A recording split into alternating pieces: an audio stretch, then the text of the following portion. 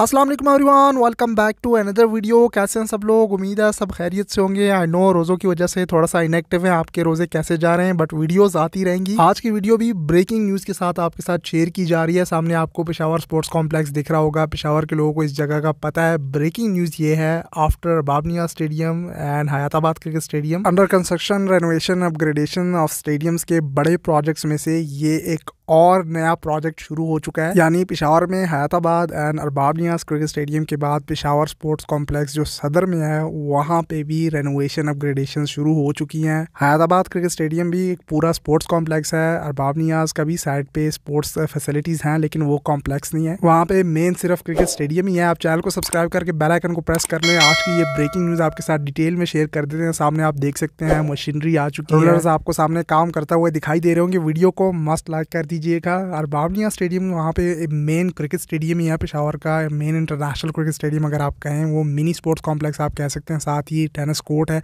लेकिन ये Peshawar sports complex Qayyum sports complex के नाम से जाना जाता है। ये पेशावर का मेन स्पोर्ट्स कॉम्प्लेक्स है, इसके बाद आप हयाताबाद स्पोर्ट्स कॉम्प्लेक्स को रख सकते हैं, और फिर आप अगर क्रिकेट की बात करें तो अरबाबनिया साइड पे आ सकते हैं। यहाँ पेशावर कयूम स्पोर्ट्स कॉम्प्लेक्स में भी क्रिकेट की फैसिलिटीज़ अवेलेबल हैं, लेकिन यहाँ पे क्रिकेट स्टेडियम नहीं है। हाँ ये है कि बाकी ऑलमोस्ट तमाम इंडोर आउटडोर गेम्स के लिए facilities courts and stadiums available हैं। खैर, ये पेशावर के लोग बखूबी इससे वाकिफ़ हैं। सामने आप स्टैंड्स देख सकते हैं। यहाँ पे चेयर्स इंस्टॉल थी लेफ़्ट राइट साइड स्टैंड में सामने का तो इस तरह से था, लेकिन वो सारी चेयर्स हटा दी गई हैं।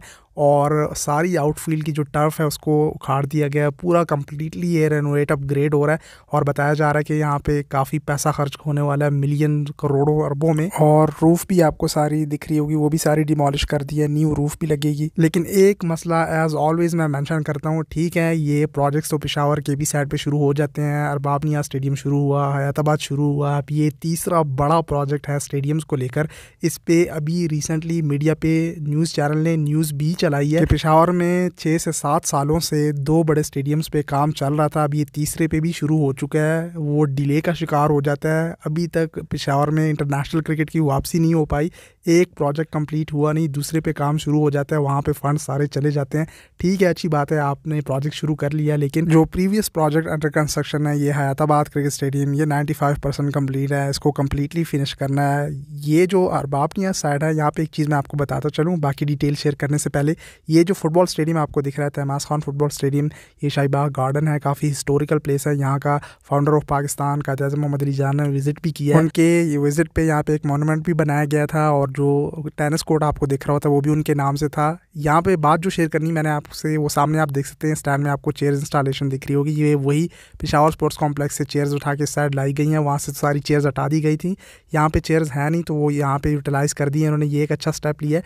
दूसरा ये कि जो पिशावर स्पोर्ट्स कॉम्प्लेक्स है, उस पर भी काफ़ी टाइम से काम अंडर कंस्ट्रक्शन है शुरू है। ये अभी मैं आपके साथ ब्रेकिंग न्यूज़ शेयर कर रहा हूँ। बहुत पहले से बताया गया था जब वो एक्स गवर्नमेंट गई थी वन थाउज़ेंड प्लेइंग फैसिलिटीज़ की बात जब की जा रही थी। अब भी उनकी अगेन के पी में गवर्नमेंट आ गई है, लेकिन बड़े प्रोजेक्ट्स तो शुरू कर दिए हैं। कंप्लीट कौन करेगा, ये मेन क्वेश्चन है। इसके अलावा अगर मैं आपको बताऊँ तो अभी जो नई गवर्नमेंट आई है के पी साइड पर तो पी टी आई की गवर्नमेंट आ गई अगेन अगर आप खुल के अगर बात की जाए, बाकी पंजाब साइड पर आपको तो पता ही है तो मोहसिन नकवी ने अभी अभी विज़िट किया पिशावर का, और K P K C M Ali Amin Gandapur से मुलाकात भी की। एंड आपको पता होगा, जब ये गवर्नमेंट नहीं आई थी, इससे पहले क्या मामला चल रहे थे? Caretaker CM Punjab Mohsin Naqvi थे, और आपको फिर पता है सारी चीज़ें पॉलिटिकल हो जाती हैं पाकिस्तान में लेकिन खैर मुलाकात की है अब इस दौरान और इस मुलाकात में अब इन स्टेडियम्स की डिस्कशन हुई है नहीं हुई ये तो पता नहीं लेकिन विज़िट हुआ है मोहसिन नकवी का उन्होंने सी एम के पी के अली अमीन गंडापुर से मुलाकात की। ये अभी अभी chairman P C B Mohsin Naqvi Peshawar आए थे अब्टाबाद भी गए थे काकुल में जो प्लेयर्स का कैंप है। आप मजीद भी वीडियो कंटिन्यू रखें आगे पेशावर स्पोर्ट्स कॉम्प्लेक्स की मजीद भी डिटेल्स में आपको सारी चीज़ें दिखाता हूँ। वहाँ पे एक बड़ा पोविलियन ओवरऑल जो स्पोर्ट्स कॉम्प्लेक्स स्टेडियम है जो चीज़ें अंडर कंस्ट्रक्शन है एंड आगे जो जून सिक्स को सऊदी अरेबिया की team FIFA World Cup twenty twenty six qualifier खेलने आ रही है इस्लामाबाद में। उस लिहाज से अब ये पेशावर स्पोर्ट्स कॉम्प्लेक्स में बेहतरीन फुटबॉल स्टेडियम अंडर कंस्ट्रक्शन है रेनोवेट हो रहा है। जब रेनोवेट नहीं भी हुआ था, उससे पहले भी यहाँ पे तमाम तरह फैसिलिटीज़ थी तो इसको यूटिलाइज़ किया जा सकता है। उस पर भी बात करेंगे। तो मैं बता रहा था कि पाकिस्तान क्रिकेट बोर्ड के chairman Mohsin Naqvi interior minister Mohsin Naqvi senator Mohsin Naqvi अब तो तीन तीन पोस्टों पर काम कर रहे हैं। इसी को लेकर किसी ने सोशल मीडिया पर एक मीम बनाई हुई थी, मोहसिन नकवी की तीन पिक्चर्स ऐड करके एक दूसरे के साथ मिलाया हुआ था और ऊपर कैप्शन में मेंशन किया हुआ था कि सेनेटर मोहसिन नकवी की, पाकिस्तान क्रिकेट बोर्ड के चेयरमैन मोहसिन नकवी के साथ और इंटीरियर मिनिस्टर मोहसिन नकवी तीनों की आपस में मुलाकात। तो मतलब तीन तीन पोस्टें संभाली हुई हैं। खैर इससे कोई लेना देना नहीं, लेकिन के पी साइड पर भी फोकस करें। रिसेंटली प्रेस कॉन्फ्रेंस में कोयटा एंड पिशावर के लिए मैंशन तो किया था पाकिस्तान क्रिकेट बोर्ड के चेयरमैन मोहसिन नकवी इसी तवसत से अब मैं मेन पॉइंट की तरफ़ आता हूँ। ये डिटेल्स मैंने आपके साथ क्यों शेयर की, अब आपको समझ आ जाएगी। जब one thousand playing facilities announce हुआ था, जो एक्स गवर्नमेंट थी, वो पाँच साल गुजरे और के पी में ओवरऑल एबटाबाद सारा इंक्लूड करके के में उन्होंने different ground gymnasium sports complex में जो काम शुरू किया था, मैंने बहुत पहले आपके साथ टाइम टू टाइम वीडियोज़ वगैरह शेयर की हैं और पुराने व्यूवर्स को पता होगा। तो उस दौरान ये अरबाब नियाज ने हयाताबाद भी शुरू कर दिया था उन्होंने और ये अब पेशावर स्पोर्ट्स कॉम्प्लेक्स भी इनकी नज़र में था। अब ये वन थाउज़ेंड प्लेइंग फैसिलिटीज़ का हिस्सा तो नहीं है, लेकिन यह है कि इनकी नज़र में था कि ये स्पोर्ट्स कॉम्प्लेक्स भी कम्प्लीटली रेनोवेट करेंगे हयाताबाद के क्रिकेट स्टेडियम और अरबाब नियाज के साथ। तो अब उसमें उन्होंने काम शुरू कर दिया है। ये हयाताबाद पर उन्होंने काम शुरू कर दिया था जब अंडर कंस्ट्रक्शन अरबाब स्टेडियम में काम चल रहा था, उसी दौरान ये एक और प्रोजेक्ट उन्होंने हयाताबाद का शुरू कर दिया था। तो दोनों स्टेडियम्स की तरफ़ फंड्स जाते थे, एक भी कंप्लीट नहीं हो पाया सही से, दूसरा हैदराबाद स्टेडियम भी कम्प्लीटली सही से कंप्लीट नहीं हो पाया, उसमें भी स्टिल काम रहता है। बहुत सी चीज़ें टाइम के साथ साथ ऊपर नीचे होती रही स्ट्रक्चर्स चेंज होते रहे डिफेक्ट्स आते गए, उनको कवर करते गए आउटफील्ड को लेकर स्टैंड चेयर ये सारी चीज़ें बहुत पहले से हम आपके साथ वीडियो शेयर करते आए। उनको नहीं डिस्कस करते, वो साइड पे रखते हैं। हम कंप्लीशन की बात करते हैं कि अभी आप देखें चैंपियंस ट्रॉफी का टॉपिक जो है, वो हाईलाइट हुआ स्टेडियम्स की रेनोवेशन अपग्रेडेशन का मोहसिन नकवी ने बात की। उसमें फ़िलहाल तो प्रैक्टिकल स्टेप सिर्फ़ थ्री मॉडल का ही दिखा है और रिसेंटली हमें कुछ ये सोर्सेज से खैर लोग स्टेटस वगैरह लगा रहे थे कि सिर्फ़ चेयर्स इंस्टॉलेशन कर रहे हैं और स्क्रीनें चेंज कर रहे हैं, बस और कोई काम नहीं कर रहे, वो सारा थ्री डी वीडी वगैरह, वो सिर्फ़ एवं हवा में मोबाइल छोड़ें।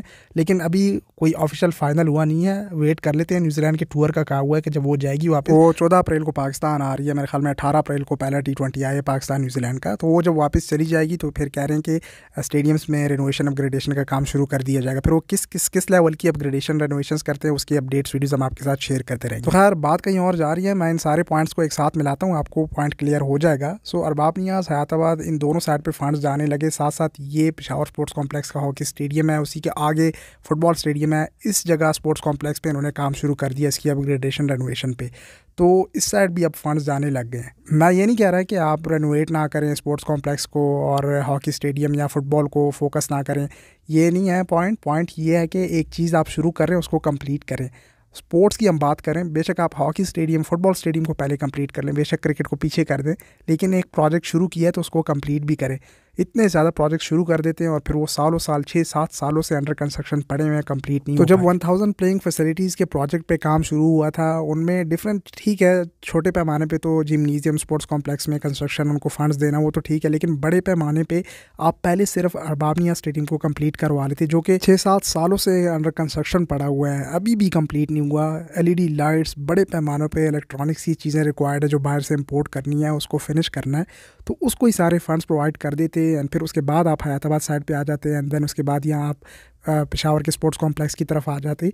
तो एक प्रोजेक्ट कंप्लीट हो जाता और अभी जो चैम्पियंस ट्रॉफी की डिस्कशन चल रही है और मौसम नकवी फंसे हुए हैं, कभी क्या कह रहे हैं, कभी क्या कह रहे हैं, प्रैक्टिकली काम अभी शुरू हुआ नहीं है तो आपके लिए पेशावर का स्टेडियम रेडी होता है। और आप इजीली चैम्पियंस ट्रॉफी के लिए एक नया न्यू स्टेडियम इंक्लूड कर सकते थे पेशावर का। इंटरनेशनल क्रिकेट की वापसी भी हो जाती पेशावर में और बहुत से पॉइंट्स जो हैं आपके लिए प्लस साबित हो जाते। लेकिन एक चीज़ है, वो है पॉलिटिक्स। अगर ये कंप्लीट हो भी जाता तो आपको पता है caretaker C M Mohsin Naqvi हैं। लेकिन मैं बदगुमानी भी नहीं कर रहा मोहसिन नकवी के पीछे। मैंने आपको बहुत पहले भी पिछली वीडियोस में भी कहा हुआ है कि जो बंदा पॉजिटिव चीज़ें करेगा स्पोर्ट्स के लिए, स्टेडियम्स के लिए, उसको हम प्रमोट करेंगे, उसकी हम खुद तारीफ़ करेंगे, उनके प्रोजेक्ट्स को प्रमोट करेंगे। सो प्रैक्टिकल, प्रैक्टिकली काम तो शुरू नहीं किया, स्टिल हम कह रहे हैं चलिए ये बंदा काम करने वाला है। और पिशावर में सिर्फ़ स्टेडियम्स में मैचेस करवाना नहीं है, सिक्योरिटी एंड ये सारी चीज़ों के मामला को देखना है। जो 2006 में लास्ट टाइम यहाँ पे इंटरनेशनल क्रिकेट हुई, उसके बाद फिर से इंटरनेशनल क्रिकेट की वापसी करना, वो भी चैंपियंस ट्रॉफी से, ये आसान नहीं है। पहले यहाँ पे लोकल अपने पेशावर के मैचेस करवाए जाएँगे एंड देन पीसीबी का डोमेस्टिक स्ट्रक्चर है, उसके मैचेस करवाएँ एंड देन जो नेशनल टी ट्वेंटी कप हो गया यानी बाकी ये सारी जो अपनी क्रिकेट है, वो होगी। देन पी एस एल की तरफ़ आया जाएगा, पेशावर जलमी को लेकर, उसके बाद आप जाके कहीं बायोलेटरल सीरीज़ का सोच सकते हैं एंड देन बायोलेटरल के बाद आप कोई बड़े इवेंट के मैचेस आप पेशावर में करवाएँगे। इतना आसान नहीं होती है सारी चीज़ें, आप मोहसिन नकवी को ब्लेम ना करें इस पर और लेट्स होप के पॉलिटिक्स वो ना लाएँ इसमें के पी एन पंजाब को लेकर। और कोयटा पिशावर के लिए भी सोचें, जैसे वो प्रेस कॉन्फ्रेंस में उन्होंने कहा हुआ है। सो ये सारे पॉइंट्स एक दूसरे से इस तरह कनेक्ट होते हैं, इसलिए मैंने आपको कहा कि एंड तक साथ रहें। अब जो बात रह गई, जून में छः जून को सऊदी अरेबिया की टीम आ रही है तो उनका विज़िट होगा, उनके लिए इस्लामाबाद में वो जिना स्टेडियम की फ्लड लाइट्स हैं, उसके लिए डेड लाइन दी हुई थी सात अप्रैल की। तो उसमें वो बताया जा रहा है कि इंस्टॉलेशन शुरू कर दी, उसकी मैं अलग से वीडियो इंक्लूड कर दूँगा, ये टॉपिक थोड़े मिक्सअप हो जाएँगे, लेकिन ये मैं मेंशन करना चाह रहा हूँ कि देखिए, पेशावर स्पोर्ट्स कॉम्प्लेक्स में बेहतरीन फुटबॉल स्टेडियम भी था। अगर देखा जाए मैचेस करवाने हों और सीरियस लिया जाए FIFA World Cup twenty twenty six qualifier है इंटरनेशनल इवेंट है, पूरे वर्ल्ड वाइड खेला जाता है। तो आप डिफरेंट वेन्यूज़ बड़े बड़े वेन्यूज़ मौजूद हैं। ये पिशावर का स्पोर्ट्स कॉम्प्लेक्स आप देख लें। बेहतरीन बड़ा फुटबॉल स्टेडियम है यहाँ पे।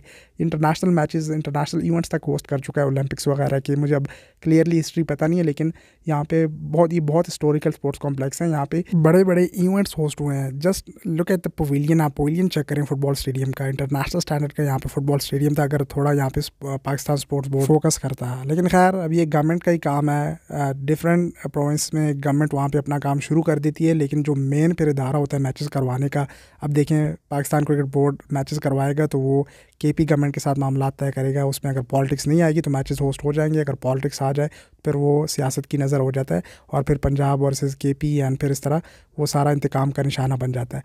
लेट्स होप के पॉलिटिक्स नहीं आएगी, और ये तीन स्टेडियम्स अब अंडर कंस्ट्रक्शन हो गए हैं पेशावर में।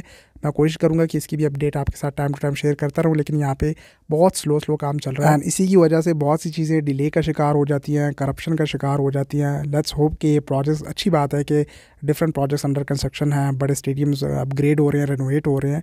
लेकिन कंप्लीट भी तो करें ये छः सात सालों से सुनते आ रहे हैं कि पी एस एल आ रहा है पेशावर में पी एस एल आ रहा है।